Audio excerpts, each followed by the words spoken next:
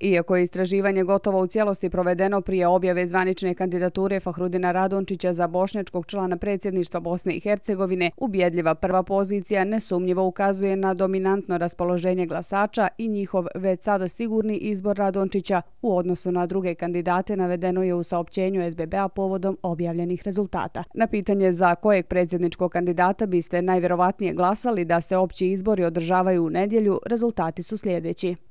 Fahrudin Radončić 22%, Šefik Džaferović 18%, Željko Komšić 15%, Denis Bečirović 14%, Dragan Čović 10%. Ostali kandidati 6% ili značajno manji ukupni rezultat.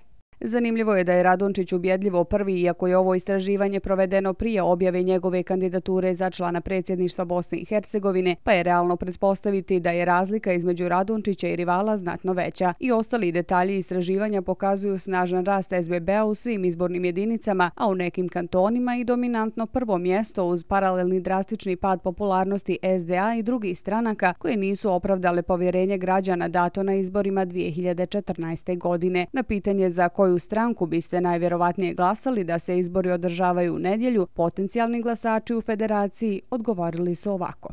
SBB više od 20%, SDA 20%, DF 13%, SDP 12%, HDZ BiH 10%, ostale stranke 4% ili značajno manji ukupni rezultat.